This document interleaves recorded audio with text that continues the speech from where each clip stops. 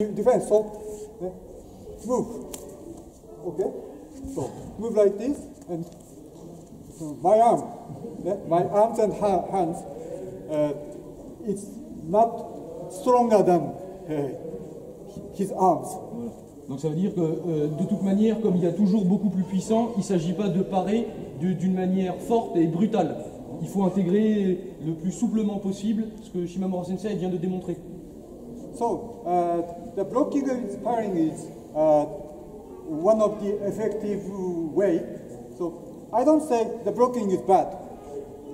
Il ne faut pas heurter l'attaque. Mais Shimamura Sensei ne dit pas que c'est fondamentalement mauvais. So uh, uh, this is uh, the, our proposal to uh, add to your technique uh, the movement of uh, what can I say, uh, the whip, or the whip, uh, whip or ivy. Uh, Il s'agit de transformer le blocage en quelque chose qui s'apparente beaucoup plus à un fouet.